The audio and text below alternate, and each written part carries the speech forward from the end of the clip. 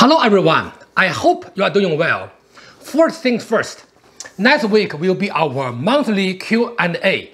So please send me your questions in the comment section or in the Ask DAOI channel of the DAOI Discord or email me if you prefer to be anonymous. Last week, I talked about 5 energy in Tai Chi. Today, I'd like to talk about 5 energy in Xing Yi. But first, let's get high on tea. This week's tea is Lan Gui Ren, a very special tea indeed.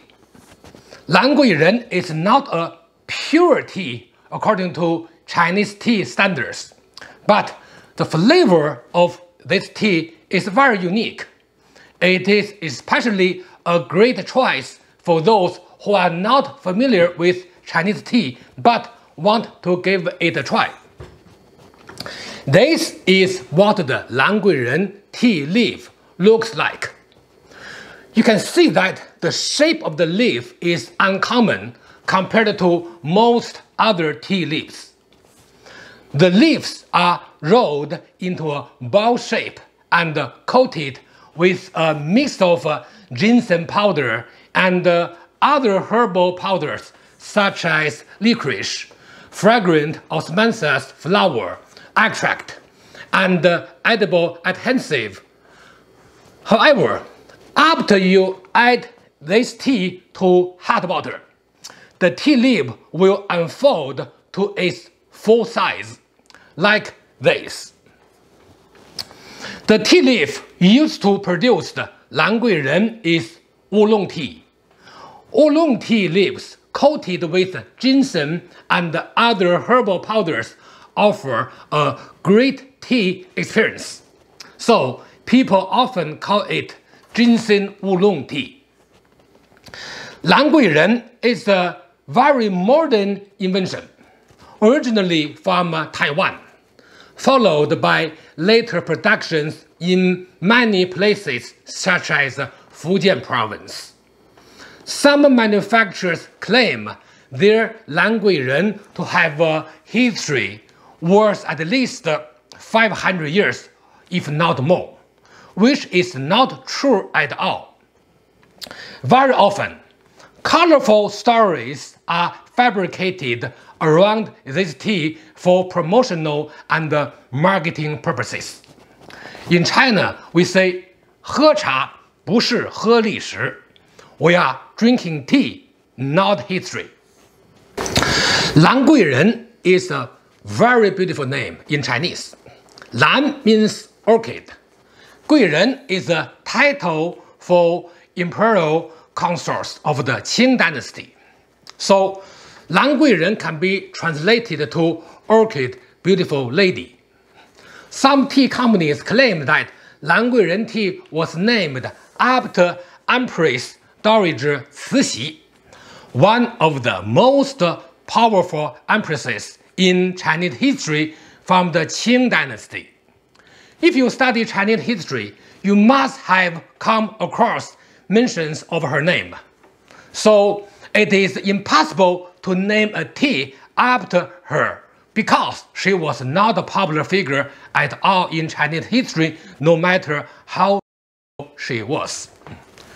Also, there are often origin stories for this name, none of which make any sense either. So, giving this tea such a beautiful name in terms of sound and imagery is just a part of its uh, marketing campaign.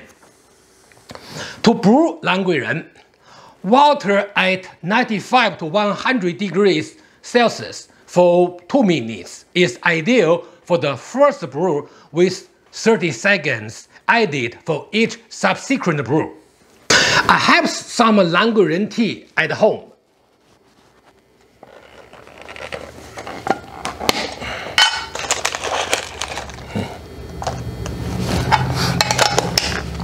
I don't drink Lan Gui Ren by myself, but only serve it to family and friends, especially those with a little to no tea experience.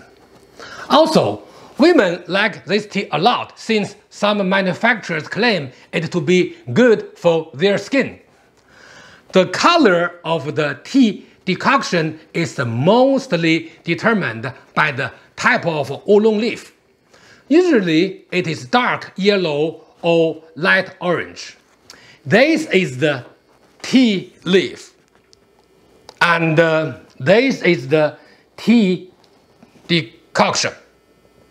Great color and fragrance. The health benefits of Lan Gui Ren depends on the quality of oolong tea and added herbal powders such as ginseng. However, due to the pleasant flavor of this tea as well as the herbal powders added in the coating, this tea is good for digestion. People usually consume this tea more for its flavor than for health benefits. I'm sure you all will enjoy this tea. Do let me know what tea you want me to talk about in the comment section. Now, let's move on to today's main topic, 5 energy in Xingyi practice. Topics covered in today's video include First, Xingyi's 5 elements and uh, 5 energies. Second, 5 statics and 5 dynamics of uh, 5 elements. Third, Yiqi concept and uh, five energy practice. Fourth, principles of five energy practice. Fifth, misperception. Sixth, demonstration. Seventh, correction of a student's practice. And eighth, takeaways. So, without any further ado, let's get started. Topic 1. Xingyi's five elements and five energies. In one of my Xingyi introduction videos titled Xingyi 5 Elements Theory and Practice, I talked about the 5 element theory and its application in Xingyi practice in detail. Link is in the description. The main contents of Xingyi include 5 elements and 12 animals practices, which focus on the 5 types of power and 12 sets of martial skills respectively. In that video, I especially emphasize that even though the five elements movements can be applied in combat situations, the main objective of five elements practice should be Xingyi power and not martial applications. However, in 12 animal practice, 12 sets of specific martial skills which are built upon Xingyi power practice should be emphasized. Then other practices and contents such as eight words practice, routines, and martial weapons are built upon 12 animal practice. Those advantageous features, especially the well-designed system through generations of practitioners make Xingyi popular in the Chinese martial art community. My video titled Xingyi Building Blocks, Requirements and Expectations introduces the contents and the structure of Xingyi. Link is in the description. A practitioner should know the basic contents that a style offers, no matter what style. The five element practice, a key building blocks of Xingyi, is used to help master the practice of the five types of martial powers and illustrates the key elements of uh, Xingyi. You need to have a deep understanding and good practice of this key content if you want to elevate your Xingyi practice to an advanced level. In Tianjin, a place where Hebei style Xingyi was mainly developed in the last uh, 150 years, people would judge someone's practice based on their Fajin or power releasing ability, which is mainly achieved through the practice of the five elements. All the time standard is still relevant today and any deviation from that standard is the dilution of the art. As introduced in prior videos, Xingyi five elements correlate to five types of uh, objects used to describe these powers. They are first, Piquan or metal fist moving like an axe. Zuanquan or water fist moving like a water fountain. Bengquan or wood fist moving like an arrow. Paoquan or fire fist moving like firing cannon. Fifth, Hengquan or earth fist moving like flying cannonball. By the way, there are different versions of these descriptions regarding using objects to express the nature of a movement. What I'm introducing here is the most popular version in the community. So, what is the nature of these powers according to the traditional practice? That brings us to the next topic. Topic 2 five statics and five dynamics of uh, five elements. Any martial movement used for application purposes is in a dynamic state, while it remains in a static state when an object is used to express its uh, imagery. For example, the trajectory of a metal fist is expressed as an X Bengquan or wood fist moving like an arrow and so on. So, how is the dynamic concept described in traditional martial art practice? Well, the answer is very simple. Chinese martial artists in the old times used the term 一气之 or simply 一气 to express the nature of a movement.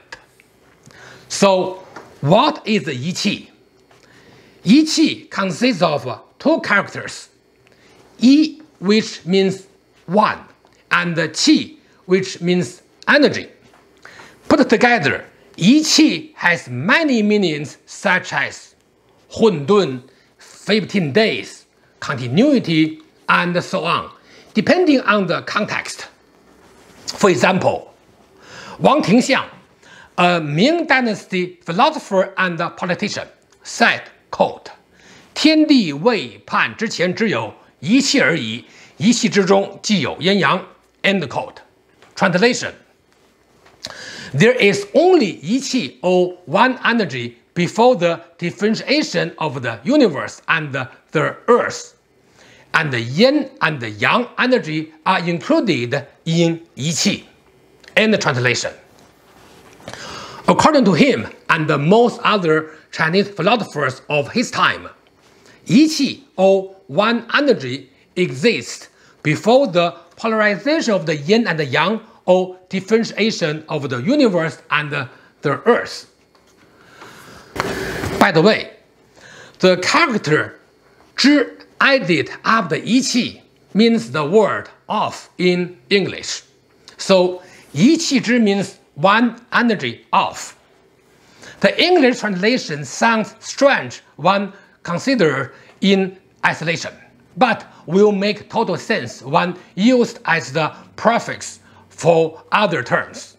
This will be very clear later in this video, so keep watching.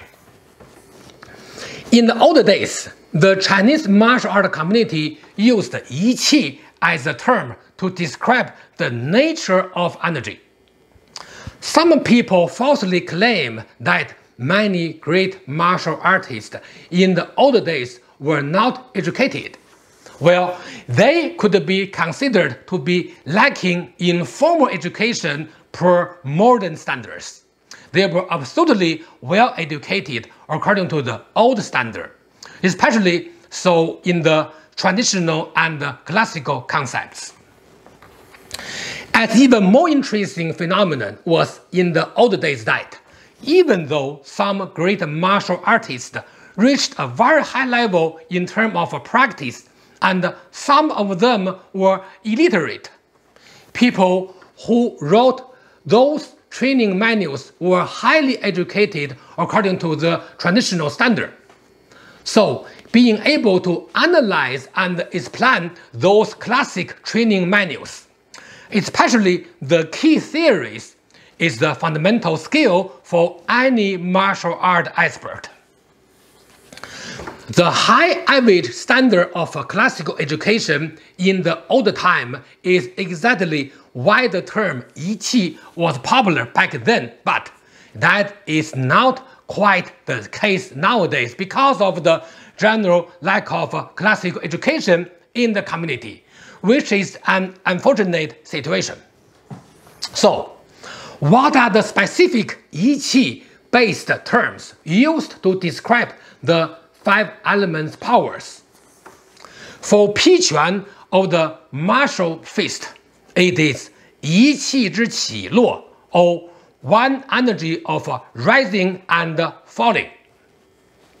To Zuan Quan of the water fist, it is Yi Qi Zhi Liu Tong, or one energy of smooth circulation.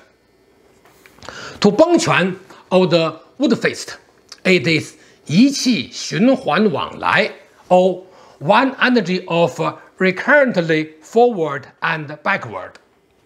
To 炮拳 or the fire fist, it is 一气之开合 or one energy of opening and closing. To 横拳 or earth fist, it is 一气之团聚后分散 or one energy of gathering and extending. These five terms should now give you a better idea of the prefix one energy of or 一气之. To understand the nature of the five elements practice in terms of their energy manifestation. Now, let me further explain them one by one. One energy of rising and falling of the metal fist implies that the body and hand movements should emphasize the upward and downward motion in power generation. One energy of uh, smooth circulation of the water fist implies that the movement and energy flow should be smooth and circular in directional changes during power release. One energy of uh, recurrently forward and backward of the wood fist implies that the body and hand movements should emphasize the continuity during power release. One energy of uh, opening and closing of the fire fist implies that the body structure and hand movements should feature the opening and closing motion in power generation. One energy of uh, gathering and uh, extending of the earth fist implies that body structure coordinates with hand movement in energy contracting and uh, extending. So, in the old days, Xingyi practitioners used the term 一气 to express the nature of each type of uh, martial energy of the five elements practice, which is a dynamic approach to describing energy manifestation. It is a better way to help a practitioner understand the fundamentals of uh, each element of uh, Fajin training. If you have a hard time with power execution of Fajin, you should pay attention to this one energy concept and apply it to your practice.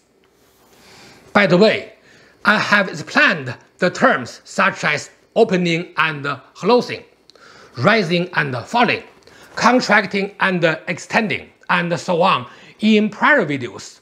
I recommend checking them out if you haven't already. Again, it is worth noting there are different versions of this concept, and what I'm introducing is the most used version in the Hebei style of Xingyi. So, focusing on the concept of uh, Yi Qi in the Xingyi five element practice will take your practice to a whole new level. So, how should you practice the five powers according to the Yi Qi concept? That brings us to the next topic. Topic 3 Yi Qi concept and five energy practice. Any practice at an energetic level is an advanced topic. Specific practice is necessary in order to practice the Yi Qi in five element fist and improve the five powers of Xingyi. So, how should you apply Yi Qi or one energy in Fajin training? To answer this question, we have to talk about how to manage the power aspect in training, which I have introduced a couple weeks ago in my video titled Internal Style Concept 51 Eagle and Bear in Xingyi. Link is in the description. In that video, I emphasized the importance of Tai Ji in Liang Yi development. Energy, especially Yi Qi, which is used to describe the nature of the five element power, start from a Wuji state, which is the state that prepares for the power generation. From Wuji, the different body parts work together to form the physical conditions according to the Liang Yi or Yin Yang state and eventually release the energy, which is the ending state of Liang Yi. This is why I call it energy manifestation, which reflects the process of energy evolution internally and externally, physically and mentally. It is a dynamic approach compared to using a subject to describe the trajectory or physical feature of a movement. To reach an energetic level, body coordination becomes more important than ever. At this stage, instead of focusing on movements of individual parts of the body, every body part should work together under the guidance of the mind. Gradually, focusing purely on the body movement and energy motion is the objective for a better level. Eventually, body movement and energy motion should unify as one since body movement is the foundation of energy motion and energy motion is the result of body movement. So the ability to sense the energy change in the body instead of mere physical sensations is an indicator of uh, advanced practice.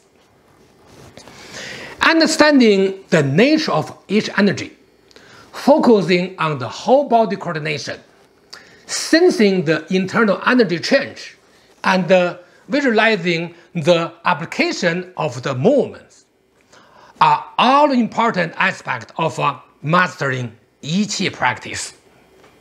Since this is now entering an abstract territory, I will save further discussion for the future. Now, let's look at some important principles of the five power practice in the next topic. Topic 4 Principle of uh, five energy practice. Principles are relevant to an advanced and abstract topic.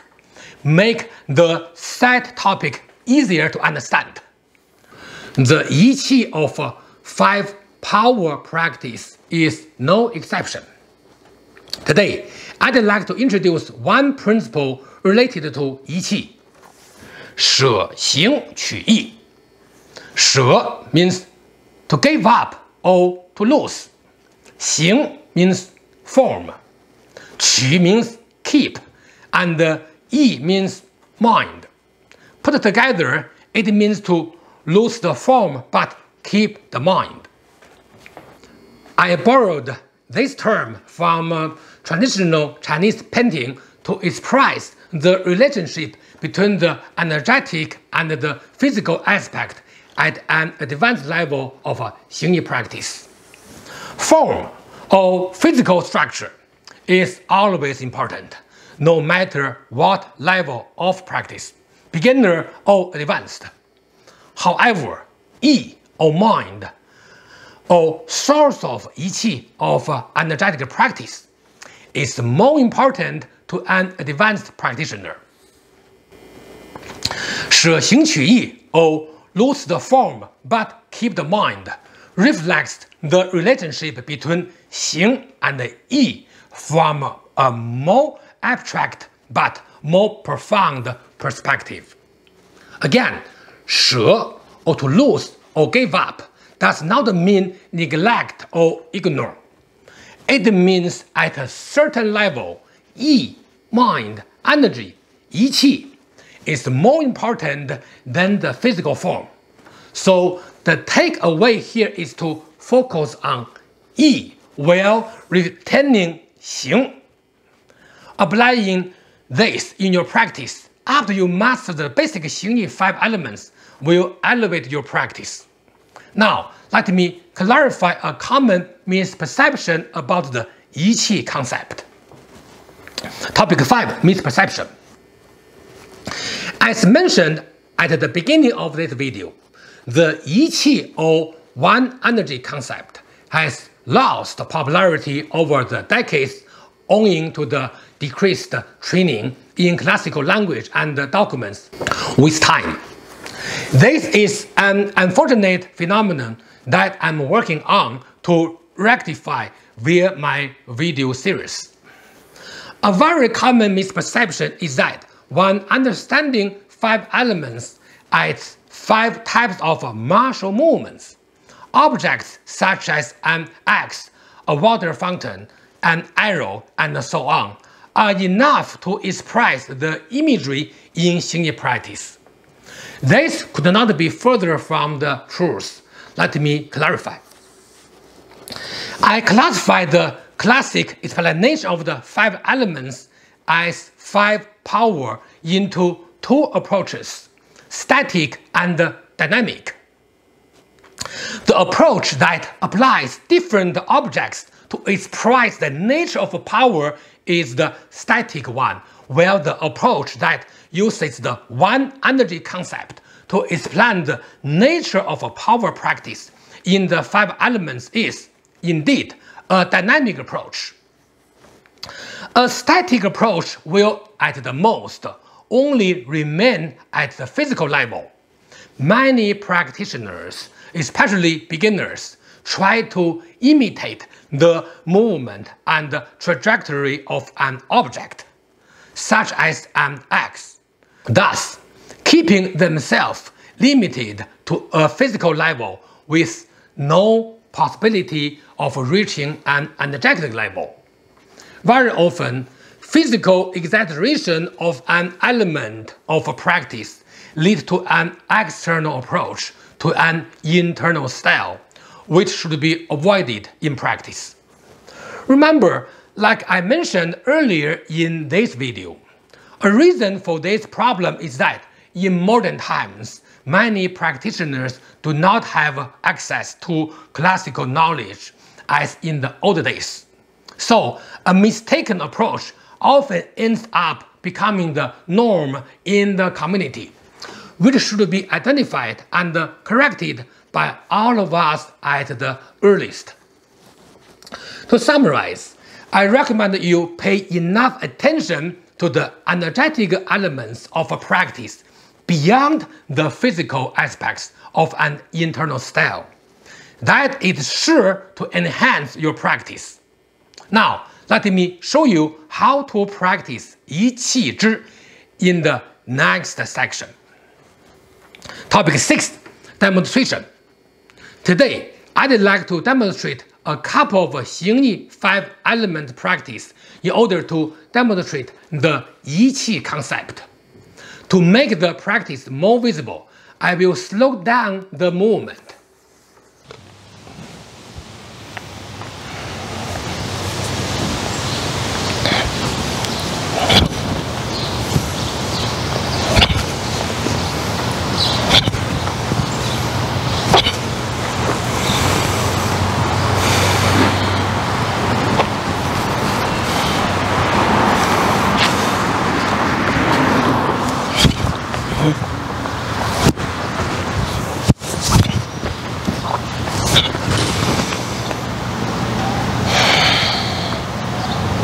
Topic 7. Correction of a student's practice. Today, I'd like to correct my student practice of this concept. Okay, now let my students demonstrate the Tuo movement of Xingyi, then I correct his uh, movement. One, two, three.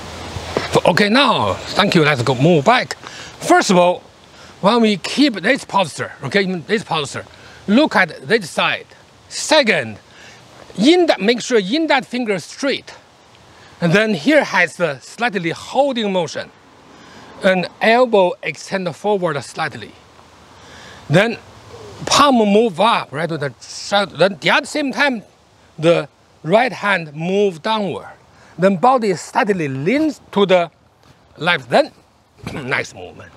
Right. Then repeat the same. Yes, very good. Thank you. Topic 8 Takeaways. First, Xing five elements and five energies. Xing five element practice is aimed to practice five type of energies that are used in self-defense. Second, five static and five dynamics of uh, five elements. Applying objects to describe the trajectory of uh, martial movements is the static approach, while applying the one energy concept in practice is the dynamic approach. Third, Yiqi concept and uh, five energy practice unifying movement and energy in practice, especially being able to go beyond the physical level is the key approach in Xingyi. Fourth, an important principle related to the yi Yiqi concept is 舍形取意, or lose the form but keep the mind. It actually means to focus on Yi while retaining the Xing. Fifth, a common misperception in the community is that it's enough to focus on and imitate the physical movements of objects such as an axe, water fountain, and so on in the five element practice. Remember, this is a misperception and you should not neglect the energetic aspect per the Yiqi concept. That brings us to the end of today's video.